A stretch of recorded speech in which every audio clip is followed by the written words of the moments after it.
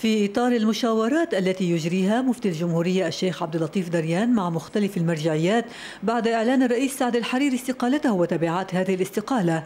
قصد رئيس أساقفة بيروت للموارنة المتران بولس مطر دار الفتوى موفدا من البطريرك الماروني بشار الراعي حيث أكد للمفتي دريان أن زيارة الراعي للسعودية لا زالت قائمة في موعدها يوم الاثنين المقبل. وفي ضغط على البطرك بالحقيقة زيارة غبطته إلى الرياض كان مقرر لها منذ سنتين. دعي غبطته ولظروف معينة آه، أرجئت هذه الزيارة. وعندما تقررت هذه الزيارة لم نكن بعد قد وصلنا إلى الحالة المتأزمة التي نحن فيها. لذلك هي مبدئيا آه، بمعزل عن الظروف.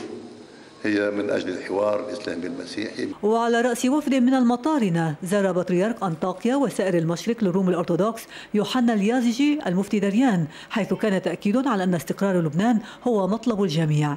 وأيدينا كلها مشبوكة بعضنا ببعض البعض مسلمين ومسيحيين وكل أبناء هذا البلد من أجل السلام من أجل الاستقرار ومن أجل أمان لبنان.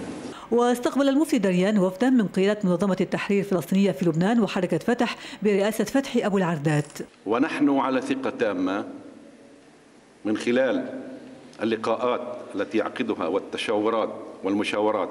سماحة المفتي بأن الإخوة في لبنان سيتجاوزوا هذه المرحلة الصعبة.